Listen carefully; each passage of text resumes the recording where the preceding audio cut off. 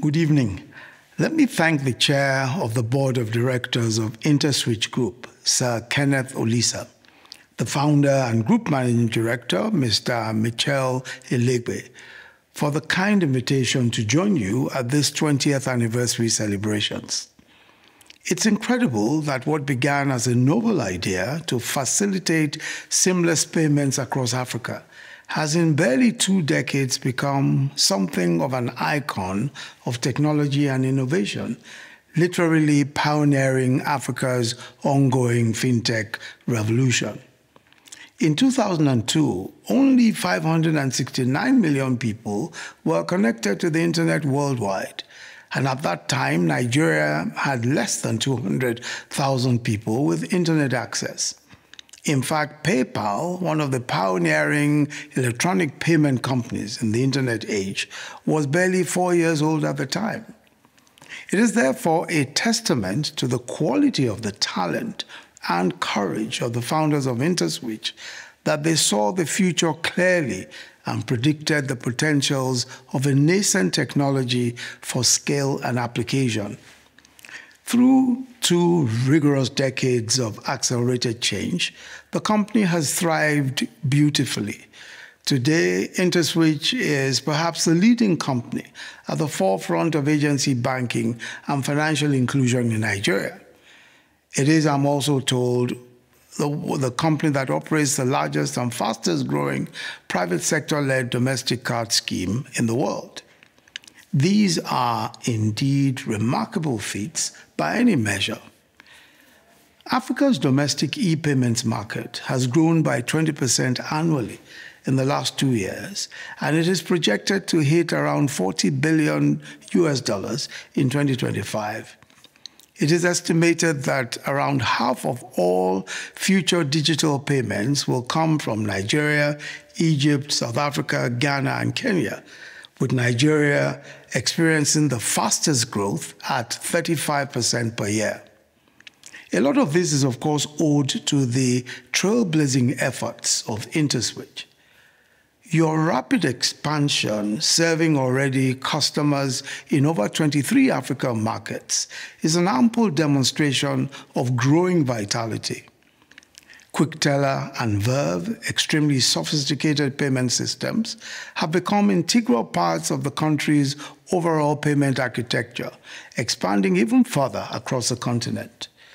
Your APIs have also been key to enabling numerous other fintech businesses operate successfully across Africa, supporting millions of consumers and merchants across the payment value chain. It is through innovative disruptions that human beings have managed to resolve their most complex challenges and stay ahead of the survival curve.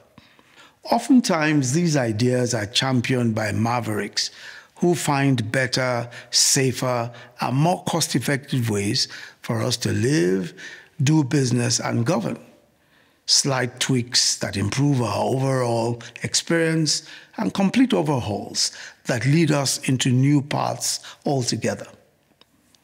Innovative disruptions thrive on natural and human occasion gaps within the system.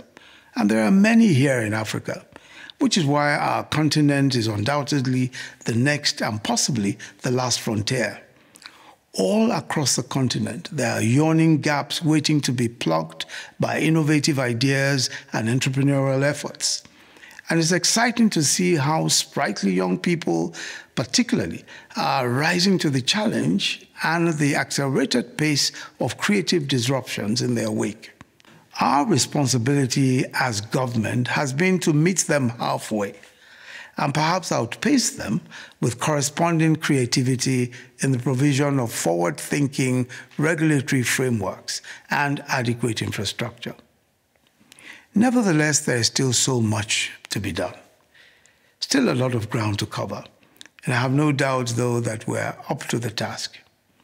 In 2021 alone, African tech startups raised over 4 billion US dollars in funding with over 564 startups across the continent, solving critical problems in almost every sector. Within the next two decades, Africa's workforce will be the largest in the world. They are skilled and they are coming.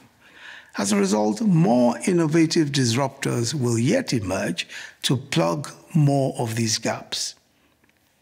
I must also mention the refreshing social consciousness in some of the recent initiatives that InterSwitch has undertaken. Your current investments in the transformation of the healthcare industry, working with six state governments across the country, is nothing less than fantastic. This is indeed a happy mix of two crucial industries. As innovation and technology open exciting new opportunities in medicine and healthcare, we can be assured that Nigeria will not lag behind. It's undoubtedly easier to start a business than to sustain it profitably through the socio-economic and political upheavals of time. This typically requires strong leadership and corporate governance. We trust that as you celebrate 20 years of corporate existence, this significant milestone will serve as an inspiration to the millions of young entrepreneurs across the continent who are throwing their hats in the ring to build better nations and stronger economies across the continent. We wish you many more productive years in the front line of change and innovation, and we join individuals and businesses everywhere many of whom have been impacted by your strides as a company in the last two decades, to say congratulations and thank you for your contributions. We are incredibly proud of you.